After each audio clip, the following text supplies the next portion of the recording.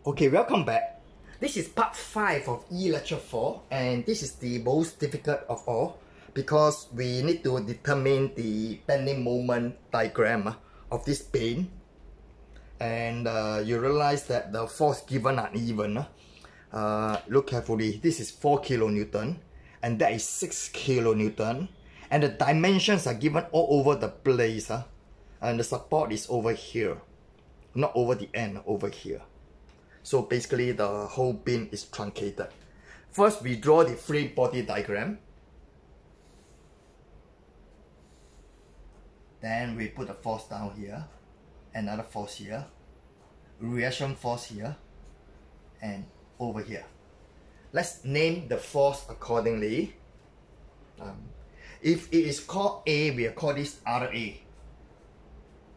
and that is RD and that is 4 and we have 6 here. So now basically we go back to your year 1 mechanics where you're going to find all the forces huh? so we have to define the orientation. Let's say this is X and that's Y. So I say summation force in the Y direction equal to 0 because it's not moving it's in equilibrium. All the forces in the y direction equal to 0 so going up I got W RA then minus 4 is going down so minus 6 and this going up plus RD equal to 0 the summation of force y direction is these four forces uh, in the y direction there's no forces in the x direction uh. So from here, I get my first equation. RA plus RD is equal to this minus 4 minus 6 minus 10 over the other side. I got 10. Then the other part is that the moment, taking moment about A. So I'll say summation of moment at A is equal to 0. This time we don't break the beam in the middle and find the moment like that. Uh. That is to find the moment inside the uh, using Newton's third law. This case now I'm saying taking moment from here, clockwise moment equal to counterclockwise moment. So from if I'm taking this point here, this point here. So the clockwise moment I will have 4 by 15. 15 is from here. Then plus 6. Oh, this system is complicated. I need this system. So this distance will be 80 subtract 30. Yeah?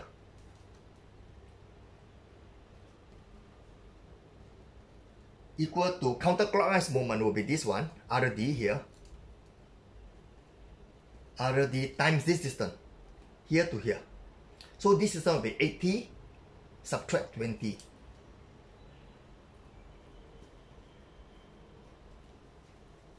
So simplified it here, I got 60 plus this one I combine it, I have 300. Combine this, I have 60 RD. From here, I will find that RD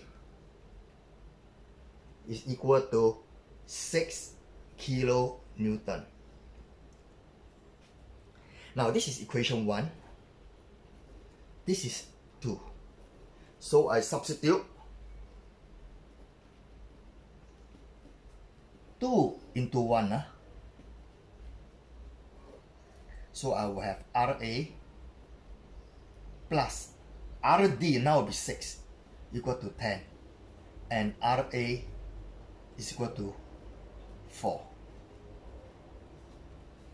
Now uh, at this moment I can find the bending moment, I can do the bending moment diagram because I can find moment at B. Uh.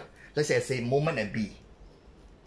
Moment at B will be, the force will be RA times 15. And moment at C will be RD times, this is the no? 30 minus 20. This time I'm using Newton's third law. Like what I did was we actually cover we actually cover the end. That means we must learn how to visualize this uh. from here I cover way to here and find the moment at this point. So this will be RA times 15. Similarly, I go to the other side. I want to find the moment at, at C. Yeah? Moment at C, I will take RD times the distance. Imagine you cut away the beam at where C is to find the moment inside the beam. Huh? So that's what I get. And uh, from here, I can I already know what's RA. So I say MB. Moment at B will be RA, which is 4 by 15. That will give me 60 kilo Newton centimeter. Lah. The units are in centimeter. Then MC moment at C will be RD, which is 6 by 30 minus 20. Again, it is 60 kilonewton centimeter. So if I were to draw my bending moment diagram now, uh,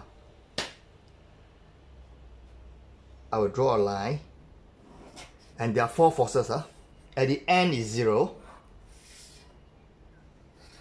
Then uh, there's one distance here and one distance here. So at the end is 0, so let me mark down the point here. This is 0.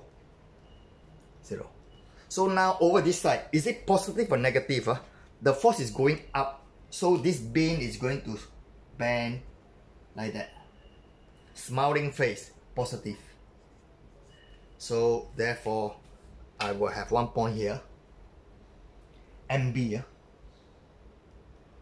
which is 60 kilonewton centimeter and MC same also uh.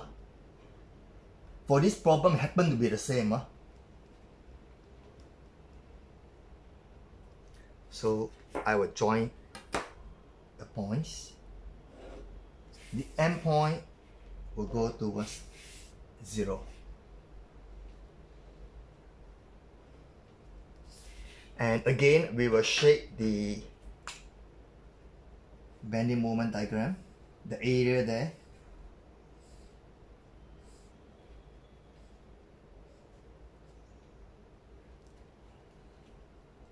And that brings me to the end of E lecture 4 E lecture 4 I'll see you in the next E lecture thank you.